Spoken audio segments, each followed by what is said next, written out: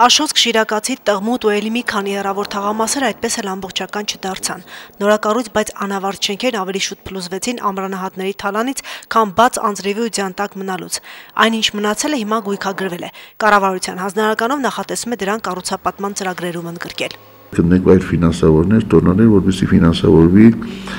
եւ այդ շենքերի աստծվի ավարտին։ Իհարկե մենք հույս ունենք նաեւ pedagogical բյուջեի մասով տեսնենք ինչպես կստացվի հետագան։ Քնորդ միանշանակ կգտնվի։ Կարող է կարևորն է որ այդտեղ պայմաններ ստեղծվի, որ մարդիկ ուզենան այդտեղ արտադրություն տնել։ Այս տարածքով միակ հետաքրքրվողները իսրայելցի գործարարներն են։ 320 հեկտար տարածքի հատկացվել բիզնես նպատակով, թե որևէ աշխատանք դեռ սկսված չէ։ Սպասում են տարածքն ազատ տնտեսական գոտի հայտարարելու մասին կառավարության որոշմանը։ Ընդհանուր առմամբ հաշվառված կիսակառույցների մեծ մասը մասնավորին է։ Մոտ 15 տարի առաջ քաղաքում կառուցապատումներ մեծ թափ ստացան։ Հետագայում երևաց դրանց անհեռանկարանությունը, ինչն էլ մասնավոր շինարարությունում դադարի հանգեցրեց։ Հիմա խնդիր է դրված սեփականության իրավունքից ու գույքից զրկել այն սեփականատերերին, որոնք երկար տարիներ կառուցապատում չեն կատարել։ Մենք միջոցներ ցերկանենք, որովհետեւ սեփականությունը նրա դատարեցնենք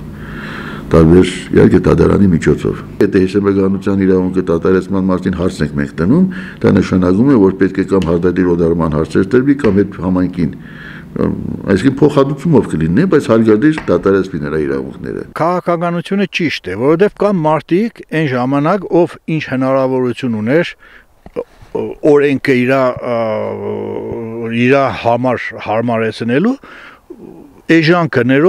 պետական քներով, կադաստրային քներով հողեր է առել, անունը ձերքերը դրել են հողերի վրա, ոչ իրանք են կարողանում սարքել, ոնց որ այդ գործարանները առել են, իրանցով են արել Որոշ շինություններ անավարտ են մնացել սեփականատիրոջ ֆինանսական խնդիրների պատճառով։ Elite Inter Group ընկերությանը պատկանող շուրջ 3200 քառակուսի մետր մակերեսով այս կիսակառույցը 10 տարի առաջ պետք է ավարտված լիներ ու ծառայեր ակվապարկ։ Ընկերությունը ծախսել է մոտ 1 միլիոն 500 հազար դոլար։ Հետո վարկային միջոցներով շարունակել չի ստացվել։ Գործերն անհաջող են ընթացել։ Վարկը չեն մարել, բանկներ խոսացած վերավարկավորումը չի կատարել։ Հսկայական շինություն անցել է բանկի տնօրինմանը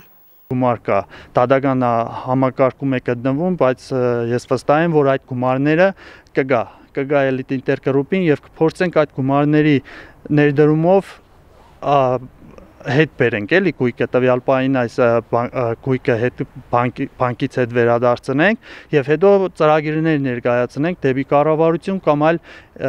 ներդրողներին որ կարողանանք ավարտին հարցնենք այս կառույցը Գործարարը վստահ ասում է, որ իրենց բիզնես ծրագրով նախատեսված 50 աշխատատեղեր բացել կհաջողվի միայն այն ժամանակ, եթե էժան վարկերով կարողանան կառույցն ավարտին հասցնել։ 3-ից 5% ամենաշատը։ Այդպիսի վարկավորումներ պետք է լինի, որ կարողանանք կամ հարգեր մուծենք, կամ կարողանանք բիզնեսը զարգացնենք, կամ էլ